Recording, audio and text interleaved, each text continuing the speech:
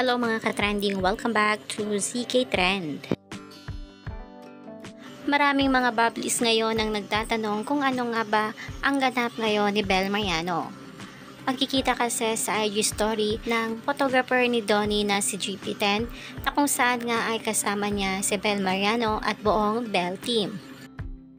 Ayon nga dito sa IG story ni GP10, finally at Bel Mariano. Kaya naman pakakaabangan natin mga kabablis kung anong exciting ganap ni Belle kasama nga ang photographer ni Donnie. Paano ako? Para makontrol mo pa rin. Welcome to Takeshi's Castle. Samantala ay may panibagong hint na naman itong Easter Philippines patungkol nga sa kanilang newest ambassadors. Panibagong blessing na naman ito para sa Don Bell.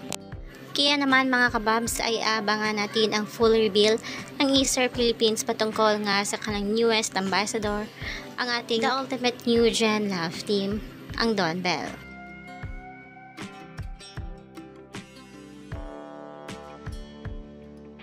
Yan lang muna ang pa-update natin ngayon mga kababs. Hanggang dito na lang. Maraming salamat sa inyong panonood.